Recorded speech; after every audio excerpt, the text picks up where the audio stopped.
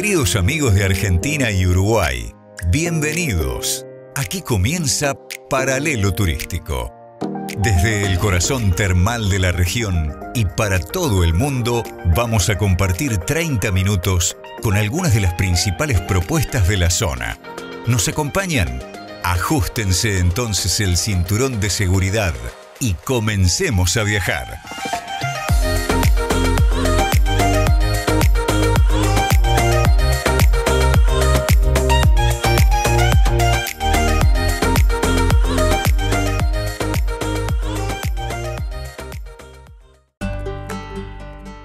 Donar sangre es un acto de compromiso con la vida. Es un enorme gesto solidario. Es fácil y seguro. En solo 20 minutos puedes salvar hasta 4 vidas. Dona sangre.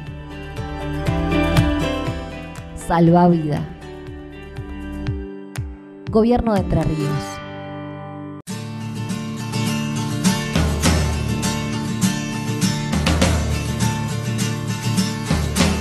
Sentado frente al mar.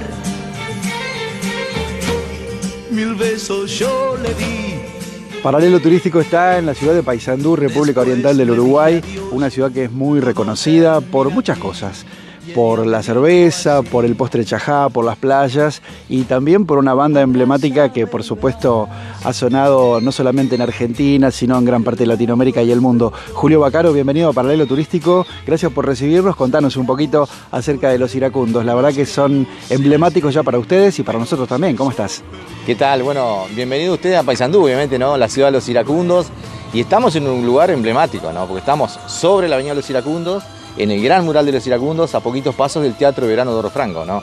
En esta zona se hace lo que es la Semana la Cerveza, todo el periodo ferial, y obviamente los fines de semana se llena. ¿no?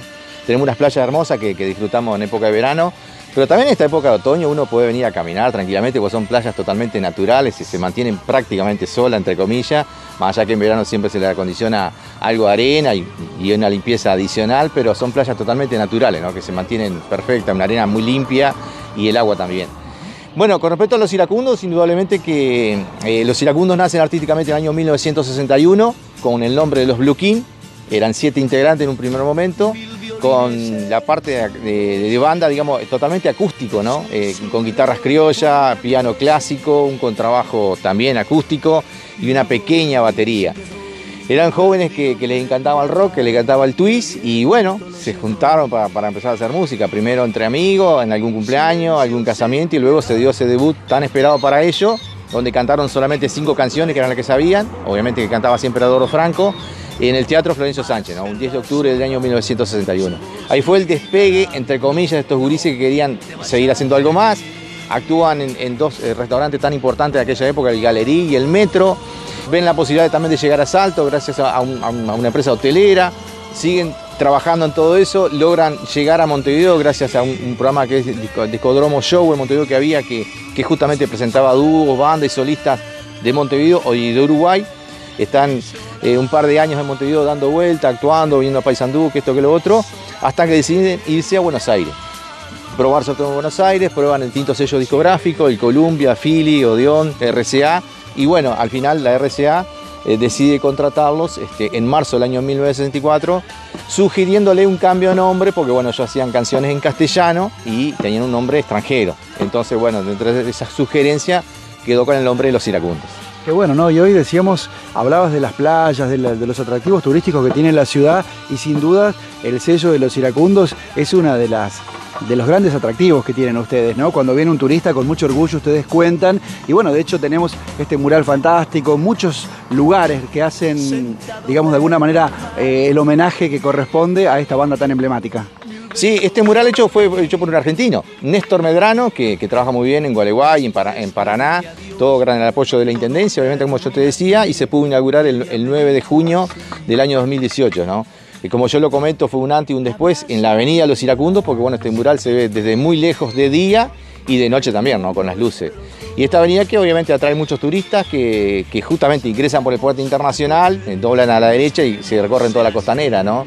Es, un lugar emblemático. Nosotros organizamos a veces el natalicio de Oro Franco en el Teatro de Verano de Oro Franco, que está muy cerca. Hemos hecho actividades acá muy cerquita, donde era un museo, donde había un gran museo.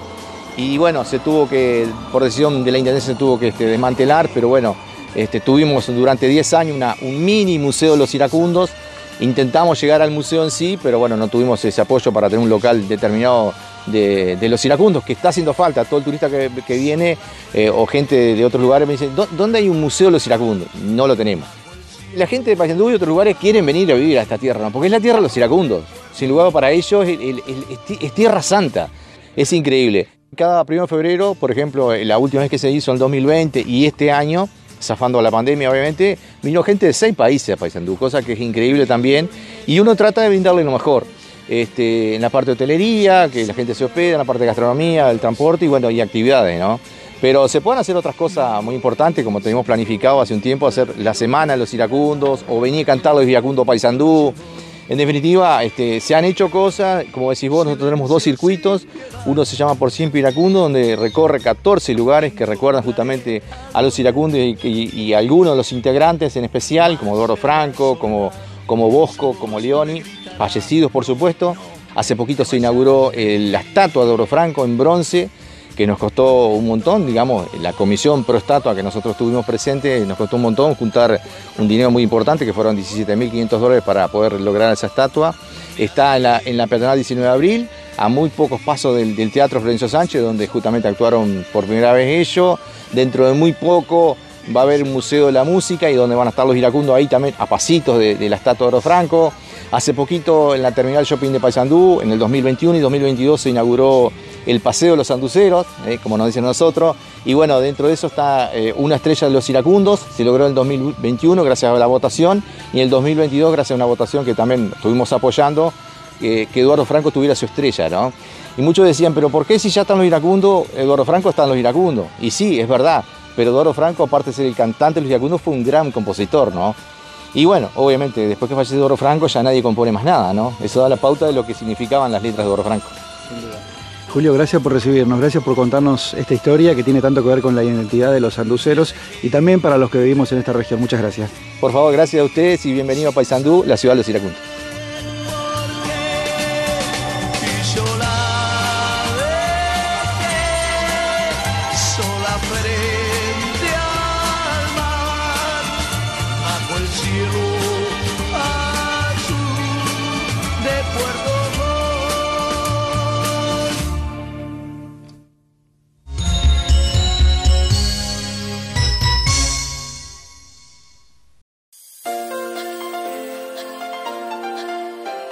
Nuestros mejores contenidos están en Paralelo TV, el primer canal de televisión turístico digital del litoral argentino uruguayo.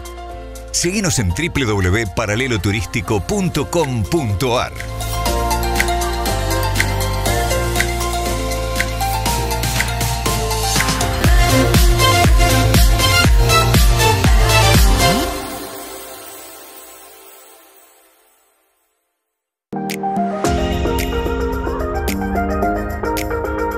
Hacemos una pausa en nuestra recorrida para compartir unos buenos consejos. Quédate ahí, no te vayas. Ya seguimos con más.